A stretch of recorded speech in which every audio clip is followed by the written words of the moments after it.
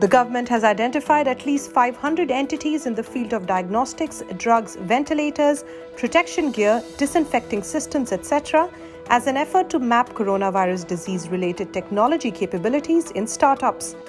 The manufacturing capacity of the first indigenous kit developed by a Pune based startup is being scaled up to produce nearly 1 lakh kits per week, a statement by Health Ministry quoted by the Hindustan Times said.